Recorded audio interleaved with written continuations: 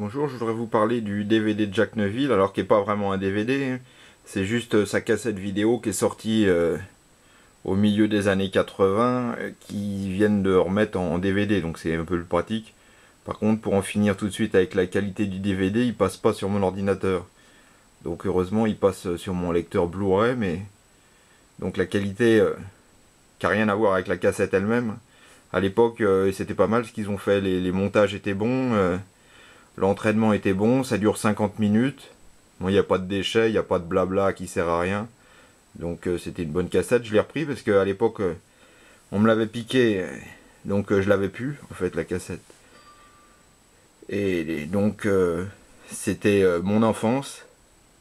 J'ai commencé avec ce genre de choses, qu'on n'avait pas, on n'avait rien. On avait juste quelques vidéos de vidéo 4. et puis on a eu cette vidéo et puis en la regardant, je me suis aperçu que ça m'avait pas mal influencé. Donc euh, bah, les années 80, c'était il n'y avait pas d'internet, pas de téléphone portable. les seuls trucs de cul qu'on voyait, c'était le catalogue de la Redoute. Donc euh, voilà, pour résumer euh, toute mon enfance, retour dans les années 80.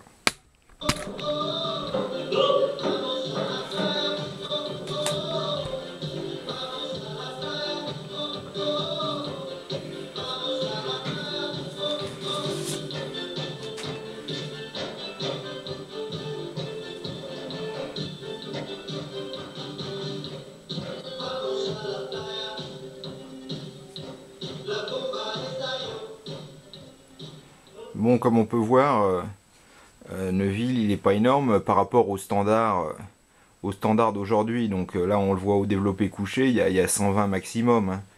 Hein. les mecs, ils font 50 kg de plus aujourd'hui et ils s'échauffent à ce poids-là.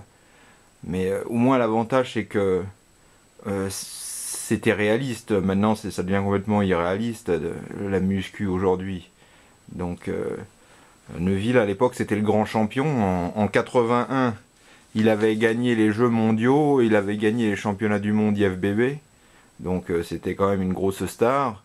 Euh, il, a, fait Olympia euh, au moins trois fois, avec un, top 10 pour son meilleur classement. Donc bah, à Olympia, je pense pas qu'il ait fait plus de 95 kilos. Hein. Aujourd'hui, ça n'a plus rien à voir quand je revois cette cassette.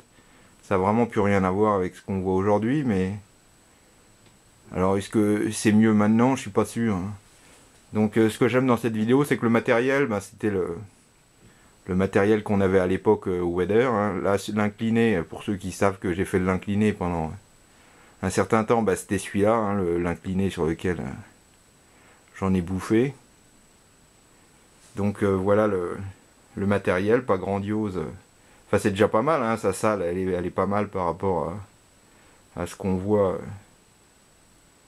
donc euh, bah, pour ceux qui sont ou nostalgiques ou qui veulent euh, se rappeler euh, d'une époque révolue, voilà le, le DVD de Jacques Neuville qui est sorti chez GMV.